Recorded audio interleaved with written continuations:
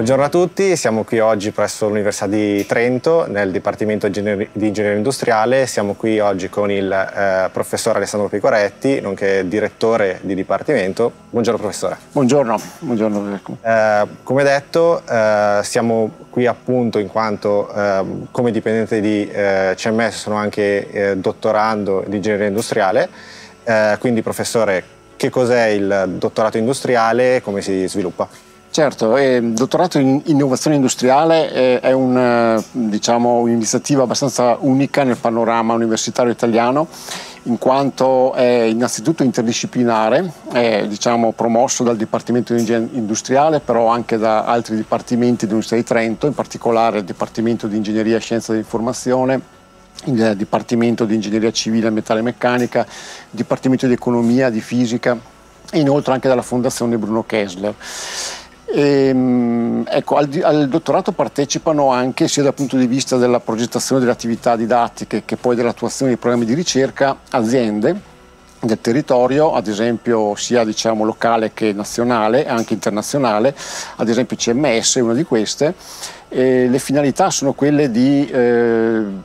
promuovere diciamo, eh, la cultura tecnico-scientifica negli studenti in modo tale da renderli eh, diciamo così, uno strumento per l'azienda eh, che possa diciamo, consentire di accedere a, a tutte quelle tecnologie ehm, importanti nell'ambito ad esempio del, paradigma di industria 4.0, quindi tutte quelle tecnologie abilitanti, i materiali eh, avanzati, eh, i processi di manifattura avanzata, quindi la robotica, la meccatronica, la, la manifattura additiva e anche la, le tecnologie digitali, quindi Internet of Things, Big Data, 5G eh, e tutte diciamo, queste tecnologie che sono estremamente importanti attualmente.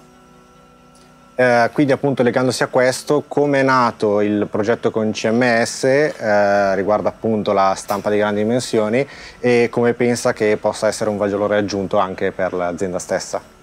Eh, quindi il progetto è nato, devo dire, da um, un'idea dell'ingegner Bernini di CMS che um, ci ha contattati questo ancora un paio di anni fa. Eh, assieme a noi ha contattato anche altre università in Italia e devo dire che poi con piacere ha scelto Trento come partner per questo progetto e quindi le attività eh, diciamo, sono partite nel settembre 2020 il primo problema che avevamo era quello di scegliere una persona adatta diciamo, per svolgere questo progetto e lì siamo stati fortunati di trovare Giacomo, diciamo che, che, adesso è il nostro appunto, interfaccia fra l'Università di Trento e l'azienda e siamo quindi subito partiti con un'attività eh, mirata appunto a ehm, comprendere i fenomeni di stampa appunto di manufatti di grandi dimensioni. Uh, sì, andando un pochettino più in dettaglio in quello che, che è il progetto, um, in una prima fase si è deciso di focalizzarsi per quanto riguarda appunto la stampa di grandi dimensioni sul uh, eh, PA6 caricato, caricato, carbonio, che è un materiale che può essere appunto utilizzato, uh, almeno l'idea iniziale è stata quella di utilizzarlo per la produzione di gig o stampi di... Um, stampi per trimming o in generale comunque tutto ciò che potesse avere un'applicazione eh, a temperatura ambiente. Ehm, secondo lei come valuta i risultati ottenuti eh, relativi proprio al fatto che uno dei più grandi problemi nel lavorare con questo tipo di materiale è l'adesione tra layer e quindi anche la, la, possibilità di lavorare, o almeno l'idea è quella di lavorare all'interno di quelli che sono i parametri ottimali di, di, stampa. Sì, in effetti hai toccato veramente diciamo, quello che è il cuore della, della ricerca, quindi la, eh, cercare di superare quello che è uno proprio forse dei punti deboli dei processi di stampa per manifattura additiva, che è l'adesione fra gli strati che vengono depositati. E in questo senso eh, l'attività sperimentale è consistita in prove sia su eh, stampa diciamo, di, di, manufatti di dimensioni reali, eseguite prevalentemente presso CMS e quindi monitorate con dei sensori, e sia in parallelo con delle attività diciamo, di, eh, sperimentali condotte presso i nostri laboratori e quindi mirate alla caratterizzazione termomeccanica eh, dei manufatti ottenuti eh, nel tentativo di trovare proprio una correlazione fra i parametri di stampa, le variabili sono la temperatura, la pressione, eh, i percorsi di stampa ovviamente e la qualità, la bontà del manufatto ottenuto.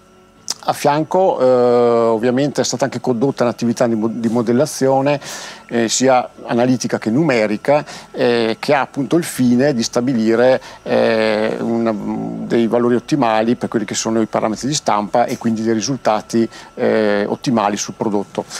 Devo dire che eh, sono personalmente soddisfatto di quello che è stato ottenuto finora, non siamo ancora arrivati alla conclusione, ma del resto non è ancora conclusa la, né la collaborazione né il percorso di dottorato, per cui abbiamo ancora del tempo per cercare appunto di arrivare alla conclusione del progetto. Sì, come abbiamo detto appunto il, eh, il nylon è stato ehm, l'idea di, di, di partenza è stata quella di poter utilizzare il nylon caricato per la produzione di, di dime, di, di jig di supporto, di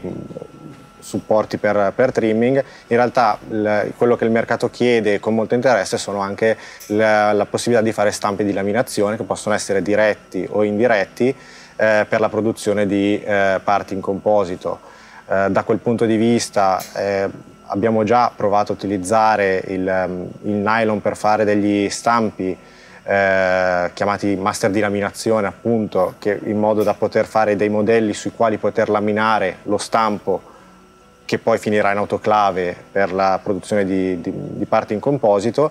ma il, il, grosso interesse appunto sta nell'anche poter stampare direttamente lo stampo che può lavorare in autoclave, quindi si parla di materiali che siano in grado di resistere a temperature eh, maggiori. Un esempio è il eh, policarbonato, è già stato utilizzato per eh, autoclave fino a temperature che possono andare intorno ai 120-130 gradi oppure per eh, parti che richiedono curing fino a 180 gradi anche il, eh, il PEI, entrambi caricati in, in fibra di carbonio. Ehm, secondo lei quale ehm, ritiene che questa tecnologia sia ehm, effettivamente eh, vantaggiosa dal punto di vista mh, industriale sia per quanto riguarda la, la prototipazione sia la produzione di pezzi finiti e eh, secondo lei se esistono anche materiali alternativi che possono essere utilizzati per questo tipo di impiego? Eh, beh, dunque, innanzitutto eh, la, i processi di manifattura additiva mh, mm, è dimostrato, diciamo, e questo è anche il motivo per cui si è intrapresa questa strada, possono essere competitivi rispetto ad altre tecnologie, eh, sia per quanto riguarda i tempi di produzione dei manufatti, sia per quanto riguarda i costi. E nel caso specifico dei, degli stampi per laminazione che poi possono eh, essere soggetti ad elevate pressioni e temperature in autoclave, ovviamente esiste un problema di stabilità termomeccanica e i materiali che hai citato sono sicuramente promettenti, policarbonato, polieterimide, eh, aggiungerei anche altri materiali come ad esempio diciamo, i polisulfoni, polietrasulfone eh, oppure diciamo, materiali anche più performanti come il PIC, eh, polietere terchetone. Ovviamente in questo caso andranno valutati attentamente i costi in quanto le materie prime hanno diciamo, un costo eh, più elevato rispetto ai materiali più tradizionali.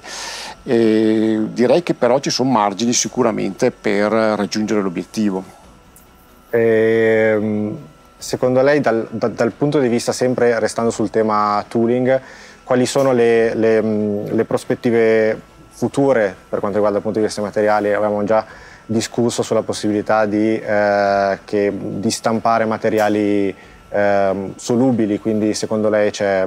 qualcosa? Sì, diciamo che mh, ci sono dei materiali attualmente anche in commercio solubili e in generale direi che l'attenzione eh, sia sulle funzionalità, quindi nel caso specifico poter ottenere dei manufatti cavi rimuovendo poi diciamo, lo stampo, sciogliendolo, però c'è anche un'attenzione al momento attualmente diciamo, molto forte nell'industria verso la sostenibilità, quindi eh, molto interessante sarà secondo me valutare anche i, i processi di eh, riciclo di questi materiali, quindi essendo materiali termoplastici è pensabile che a fine vita possano essere eventualmente macinati, recuperati e mm, mescolati, compoundati, come si dice, con materiali vergini in modo tale da ridurre sia l'impatto diciamo, in termini di materie prime sia anche l'impatto in termini di energia e di rilascio di CO2 nell'ambiente. Quindi sono tutte tematiche che sono collegate e sicuramente eh, diciamo, diventano sempre più importanti. Grazie mille professore per il tempo che ci ha dedicato, la terrò sicuramente aggiornata sui nuovi sviluppi. Grazie a te e come dicevo in bocca al lupo anche per il tuo diciamo, percorso di dottorato. Grazie.